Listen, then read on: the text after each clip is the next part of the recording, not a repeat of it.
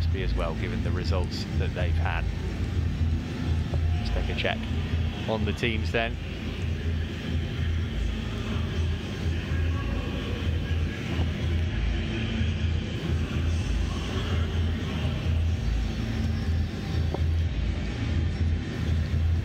Four two three one again for Chelsea. Then Enzo Fernandez and Conor Gallagher, the two holding midfielders today. Nicolas Jackson will again be the point of the attack. It's going to be interesting to see where Christopher Nkunku plays. He'll have a floating role, one would imagine. Carney Chukwuemeka looking to impress as he has done so far in pre-season. Kepa between the posts. Gaga Slonina will be hoping to get on at some stage at the place he used to call home.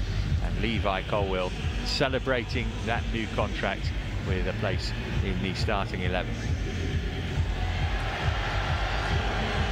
Dortmund without some key players. Uh, Gregor Kobel, the goalkeeper, is injured, as is Munier Schlotterbeck and Nmecha. Bensebaini, normally a left back, we're expecting him to fill in on the right tonight. A pretty experienced midfield with uh, Sabitzer having signed from Bayern Munich. He spent the second half last season on loan at Manchester United and Marco Reus, the veteran, also in there and pace and quality in attack with Moukoko, Adeyemi and Donyell Malen.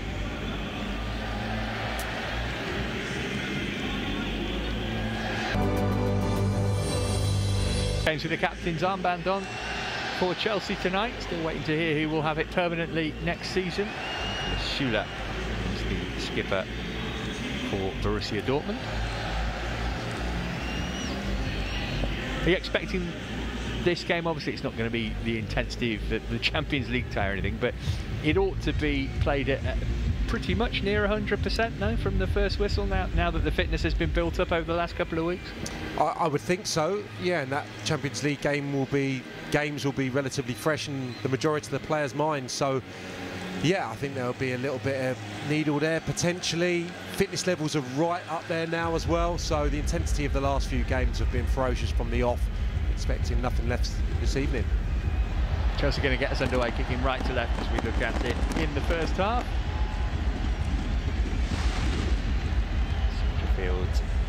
60,000 capacity stadium. Healthy number in here tonight for this game.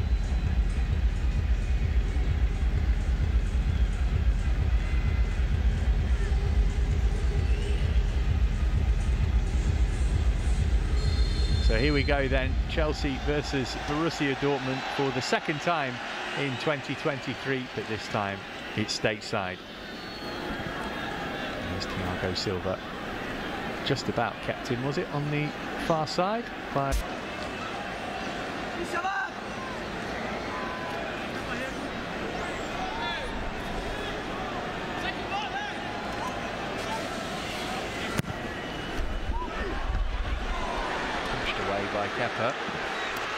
And the shot driven back in and the deflection allows it to be turned in from close range.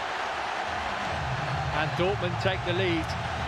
Marius Wolf, Chelsea waiting for a flag which didn't arrive and Wolf the substitute not long onto the pitch breaks the deadlock in Chicago makes it Chelsea nil, Borussia Dortmund one.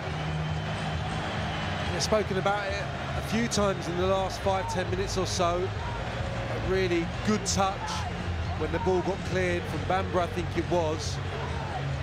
Kepa's punch. That touch enables the strike, the strike to come quickly. It's really close, isn't it? Once it takes a deflection or two. To just straight into an offside position, but turns it home really comfortably on his right side, skipped up nicely onto the volley. And just pushed it to the left-hand side of Kepa. Not going to miss from that range.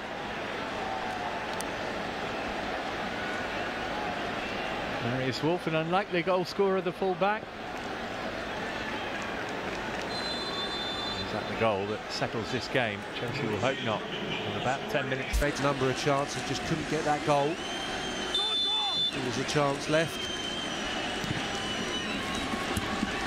from Mudryk. They haven't got it away. Fernandez and then looped in for 1-1 by Mason Burstow. What a moment for the 19-year-old. And with just a couple of minutes remaining, Chelsea do get the equaliser, and it's Mason Burstow who makes it Chelsea 1, Borussia Dortmund 1. Oh, brilliant. The goal scorer that you would have wanted, Chelsea Blue, that young man. And it was a really nice one as well because he didn't have any time to think about it, if you like, where you can get a little bit anxious and maybe snatch at the opportunity. It comes at him so quickly, just going to try and get that loft, get that direction towards the far post, and he does both. It's perfect. You can tell as soon as it left his head, it was going to find that far corner. Brilliant way to end the tour. Andes did really well to win the first header. Burstow looped his over Meyer.